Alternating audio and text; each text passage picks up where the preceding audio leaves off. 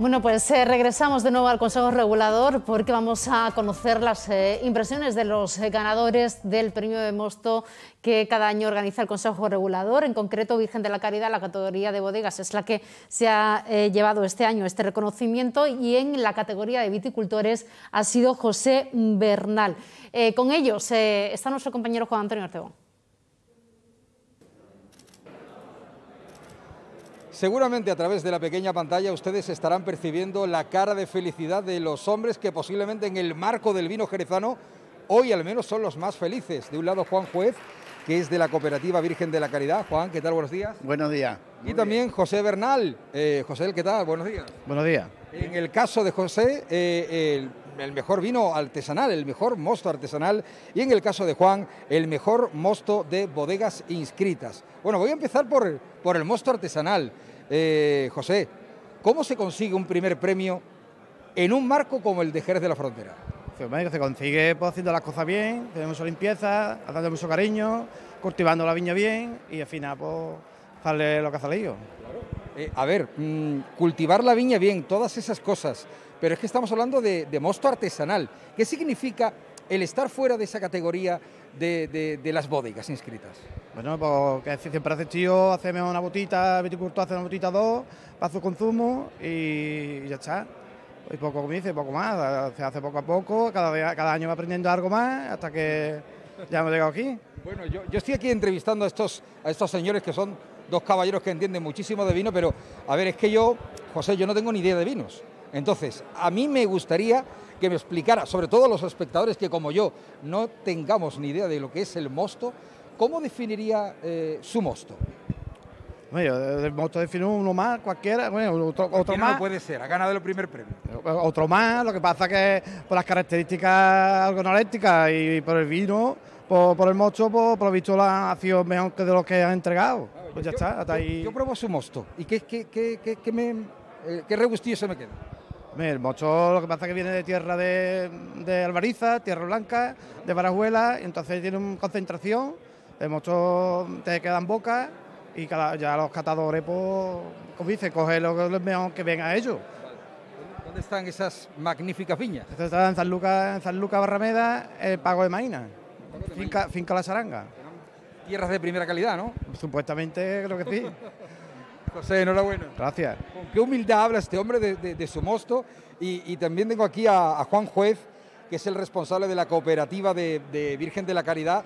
Eh, Juan, sí. también eres un hombre muy feliz, ¿no? Sí, hombre, claro, por supuesto que soy un hombre muy feliz porque competimos con muchas bodegas y es importante quedar primero ya, que hemos quedado tres veces primero, ¿eh? Tres veces primero. Y una segundo y otra tercero, en cinco años que llevamos compitiendo.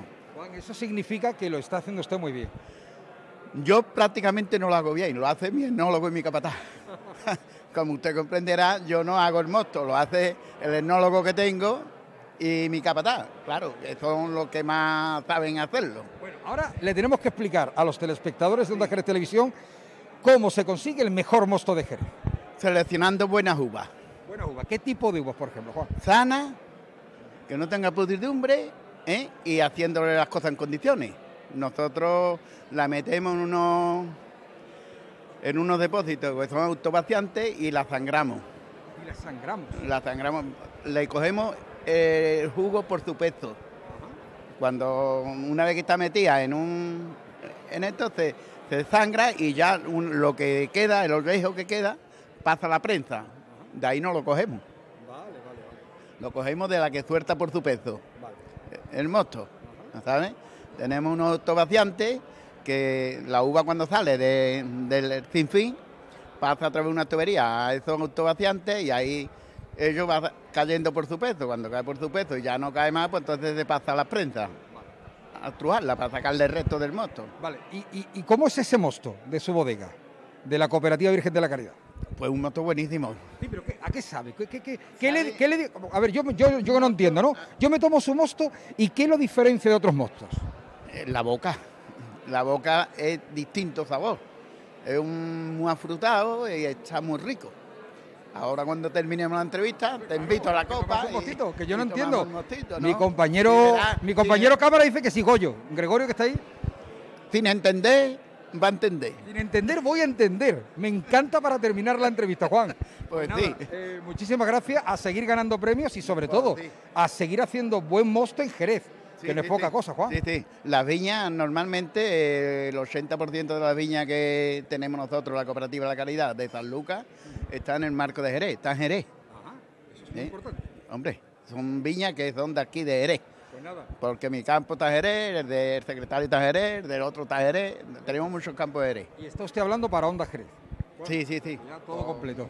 Eh, José, muchísimas gracias, señores, y felicidades. Brinden ustedes ahí con las copas.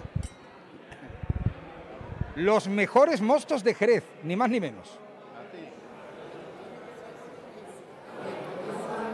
Bueno, pues enhorabuena a los que se han saldado con este premio del concurso de mostos del Consejo Regulador de, de, esta edición.